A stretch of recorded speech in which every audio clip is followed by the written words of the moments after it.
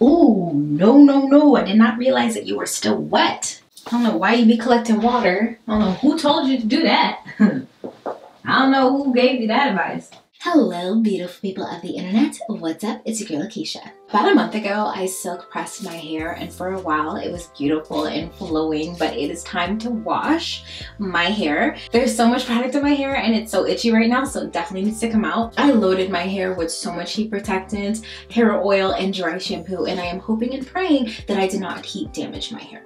So today, let's go ahead and uh, transition my hair back to curly, as well as try this new line from Dr. Vanita Rattan. She sent me this beautiful line of hair care products that are suitable for type 4 hair, so we're gonna be trying them out together.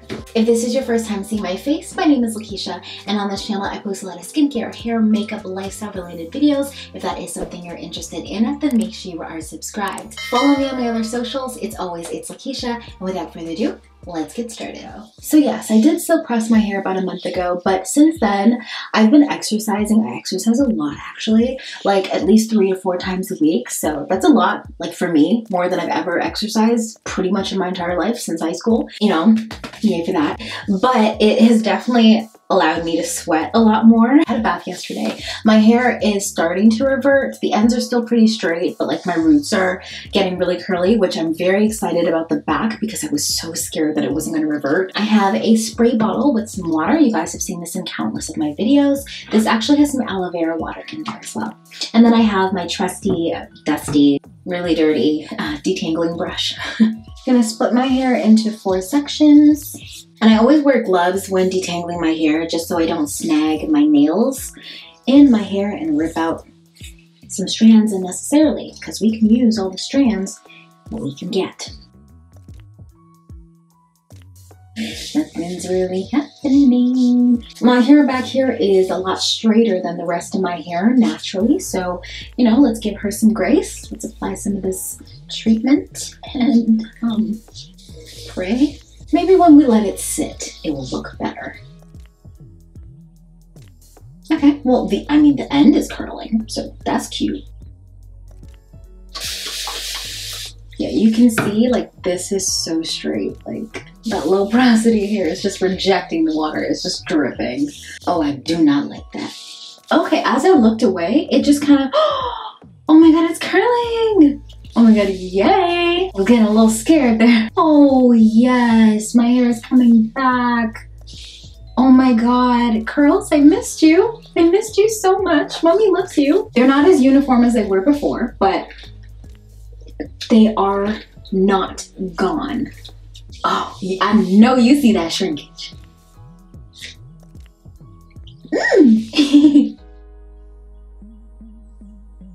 I'm just gonna put a plastic cap on my hair with a microwavable hot pack just so that the warmth can really be distributed in my hair and keep it nice and hydrated. And then I'll jump in the shower and try out this Dr. V hair care line. Okay, moment of truth. Oh my god.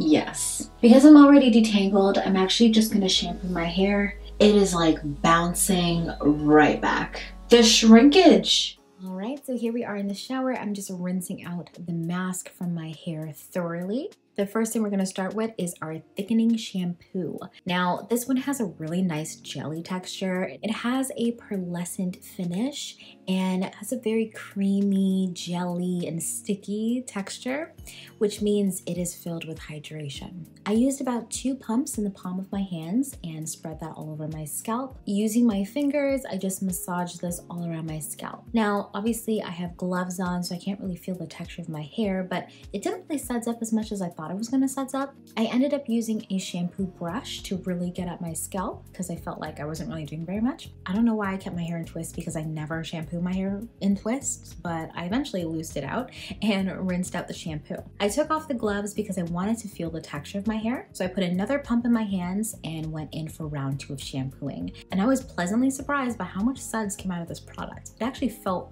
really nice, not squeaky clean, it just felt clean. Shampoo is really supposed to be on your scalp, not necessarily on the strands of your hair. I did have a lot of product in my hair, so I really wanted to get at that. But after this first time that I shampooed, I end up using a dropper bottle with two pumps of shampoo and just filled up with some warm water just to make sure the shampoo got to my scalp instead. After doing my entire head, I was rinsing my hair out and it did feel pretty soft. It wasn't the softest thing in the world, and as you can see, my hair was a lot more saturated than it was before with water.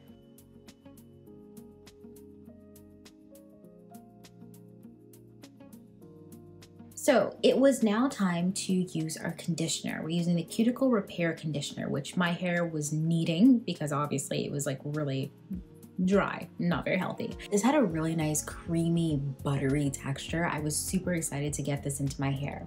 So here I am putting it into my hair and I was a little bit underwhelmed, unfortunately, with how much slip the product had. I just expected something a little bit more. My hair was already parted into four sections, and I split each quad into two.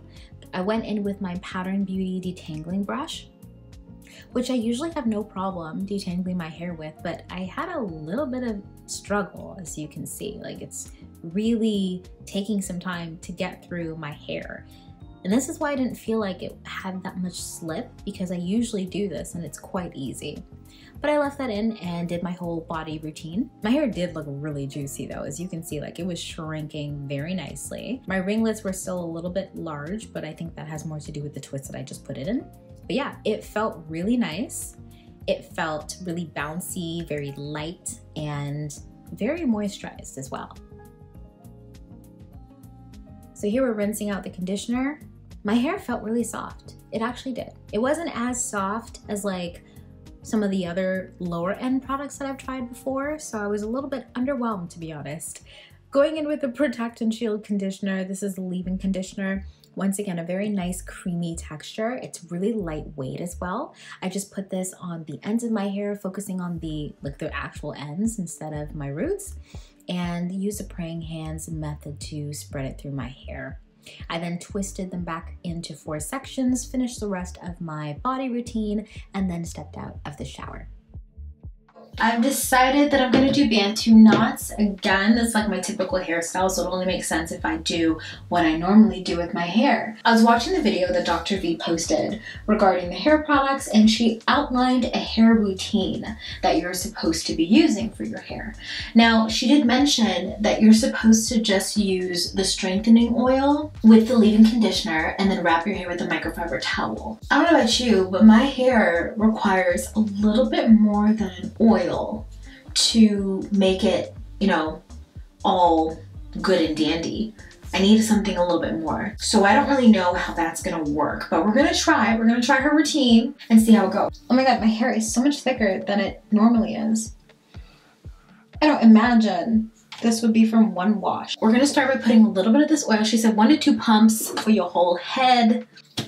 Um, I'm gonna do one pump per section. So here's, okay, two pumps per section because that, that's not a lot. So let's put that on, like that legitimately disappeared. okay, um, praying hands method. She says it's the heat that's supposed to allow it to lock in. So I'm just gonna twist it back up. So next section, two pumps of oil, one, two.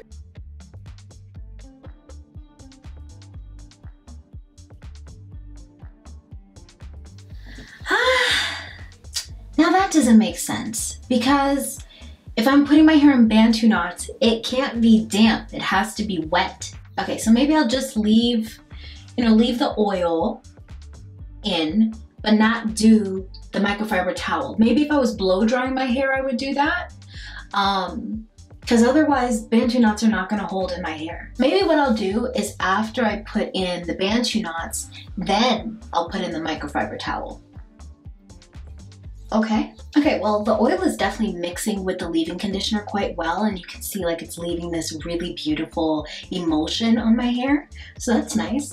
What I will say is my hair isn't super, super soft. Like I've had my hair be extremely um, buttery smooth. This is not leaving my hair buttery smooth, but it's also not leaving my hair dry or stripped or anything like that. It's just kind of like in the mid-range. I am going to be using the Anagen Boost Hair Tonic for thinning and brittle hair because I've talked about this many times before. Right here by my temples is starting to thin just a little bit. So we're gonna spray this right here and kind of massage it in. Spray here and massage it in. Like honestly, the African American urge to put butter in your hair. Oh my god, it just feels so thin. I'm really nervous about how this is gonna turn out, but I'm gonna stop complaining. Okay, just wrapping that little Bantu. My hair looks a little frizzy, but I think that has more to do with, once again, the fact that I just did a silk press on it versus this product. What I will say is like, it does feel very lightweight. It's very, like there's no weight on this whatsoever. And it does look really good. Like it's shiny. It is shiny. So I just finished all my hair. I'm gonna put on this microfiber towel to hopefully dry it. This. I'm gonna leave it on for about 15 minutes or so, then I'll go to bed.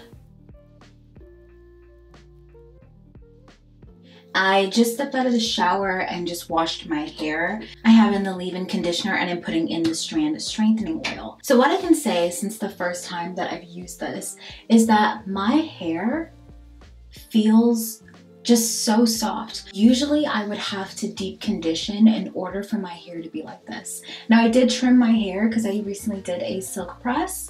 So it is, you know, not really gonna be that much longer, at least in this curly state. But do you see how much thicker my hair looks? Like it just looks so soft and healthy. And I noticed that without using a lot of heavy products, my hair feels good. My hair doesn't need thick butters and thick anything. It just needs to be washed. In terms of shedding, I have my shedding from the shower here. This is about normal for me. I wouldn't say anything more or anything less than what I normally get. So I don't know about that too much, but I am seeing that there's a lot of new growth. Like that's a lot of new growth. A lot. So much new hair. For my hairline, I have been using the uh, Tonic Anagen Boost Hair Tonic for my thinning edges. I haven't seen anything crazy with this, unfortunately. I'm not seeing, you know, any hair more than it was before. So I don't know. It's not done, so I'm gonna continue using it. I also started detangling in the shower now instead of before, and I use the conditioner to do so. It actually does have enough slip if your hair is healthy. If your hair is not healthy, you're gonna need like a lot, a lot of product, but the healthier your hair is, the less product you're ever going to use. So that's pretty cool. One thing that is extremely important to keep in mind is the fact that my befores were right after my hair was straightened. And my afters, of course, is three months later after I've not blow dried my hair at all. So my ringlets are a lot tighter than they were before. Now, with that being said, before I straightened my hair, my ringlets were already looser. So straightening it made my curls even looser than they were then, if that makes sense. I hope I'm saying that properly.